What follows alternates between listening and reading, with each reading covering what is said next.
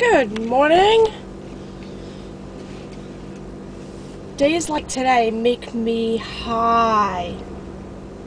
Oh my god, it's so stunningly gorgeous out. So, I guess I'm on my way to the cubicle farm again. At least it's not seven days a week, right? Because it could be worse. And I, um, wanted to share with you only because you asked and you know who you are. Otherwise, I wouldn't have bothered. Um, the minor nonsense that's been going on in the office. Well, it's not really minor, it's kind of major. Majorly inappropriate. As I've told you before, we have six owners, and they all like to run things differently. And sometimes they butt heads.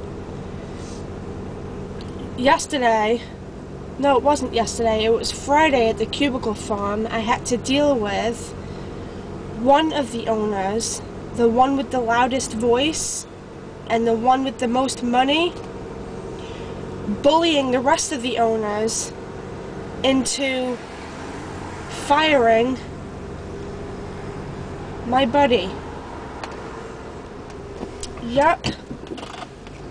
Argued out loud within earshot of anybody who was in the office. And I just sat there all day feeling absolutely terrible. I won't go into details, but it was, let's just say, oh. Wow. You just missed, sorry, the prettiest display of tulips outside of, uh, outside of Holland. Anyway, oh yeah, so I sat there feeling absolutely rotten all day and uh, stuck totally in the middle because she's my friend and uh, I felt the need as a friend to tell her what was going on. But then if I did so, I put myself in a horrible position. A position where I look and feel like a tattletale. A tattletale because only four of the six partners are aware of what's going on in the office at the precise moment. One of those partners um, has my buddy as his personal assistant, and he wasn't there to defend her. And uh, yeah, so I'm stuck in the middle because I feel like I need to keep well, I'm told I need to keep all of the owners aware of what's going on, and they're arguing in front of me, which makes me feel like I need to email or pick up the phone and report to the two owners that are not there, as well as my buddy Kim. But, on the same token, as an employee,